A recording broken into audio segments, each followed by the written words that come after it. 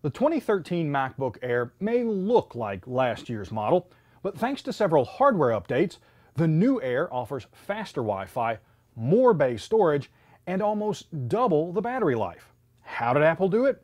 Let's find out. I'm Bill Detwiler, and this is Cracking Open.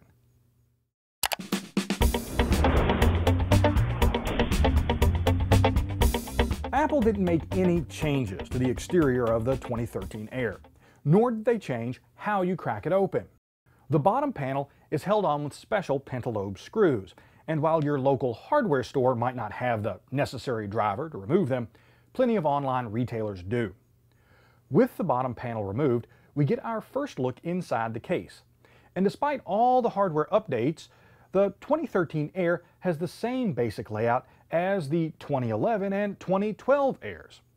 Along the back edge is the motherboard, cooling fan assembly, and a small I.O. board. A pair of speakers flank the battery, which is the first internal component to come out. Next, we'll remove the SSD and the wireless card, the cooling fan, and the I.O. board.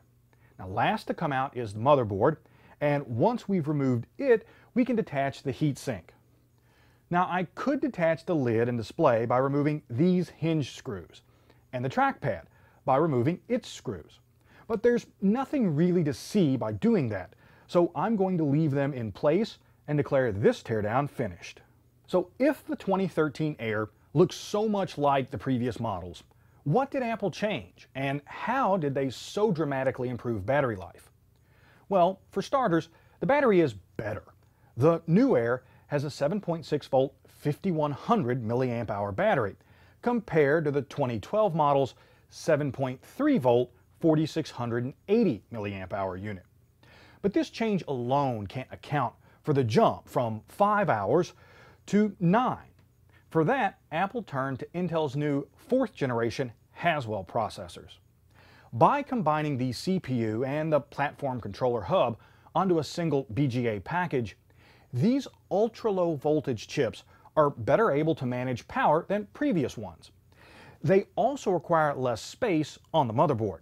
A 1.3 GHz dual-core Core i5 comes standard on both the 11 and 13-inch Airs, but our test machine had a 1.7 GHz Core i7. Now along with the new CPU, the chip also has Intel's HD Graphics 5000, which Apple claims is up to 40% faster than the old GPU. But it's not only the graphics that are faster. Thanks to a solid-state drive which uses a PCI Express interface instead of the slower SATA connection, the new Air is 45% faster when accessing files. You also get more storage for your money. The base model Air comes with a 128 gig drive, compared to last year's 64 gig unit. Rounding out the upgrades is a new wireless card that also speeds things up by supporting the 802.11 AC standard. Now just remember, you'll need an 802.11 AC access point to take full advantage of the new card. Now conveniently, Apple released new airport stations that do just that. This year's Air upgrades were all about efficiency and speed. More efficient power management, faster graphics, a faster SSD, and faster Wi-Fi. Now thanks to these updates, Apple definitely hit a triple with the new Air. Had the company included a Retina display, added an SD card slot and upgraded the camera, they would have hit a home run.